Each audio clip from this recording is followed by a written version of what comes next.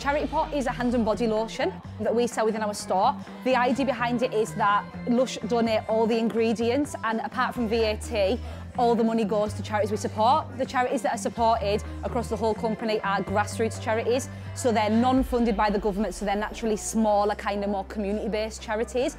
And in each store, the money gets dished out across the country, but each store has the opportunity to support charities local to them as well, which is why Soundwave are involved today.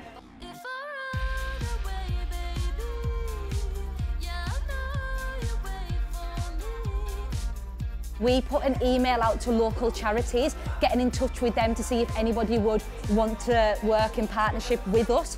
But um, what can happen is as well that charities can contact us. So if they know about Charity Pot, there is a form that they can fill out. It then goes to Lush and they look at like the statistics of the charities and see that they are relevant and okay to be able to be supported by Lush because the Charity Pot only supports um, humanitarian, animal rights and environmental charities there as well. So we have real kind of criteria that you have to meet.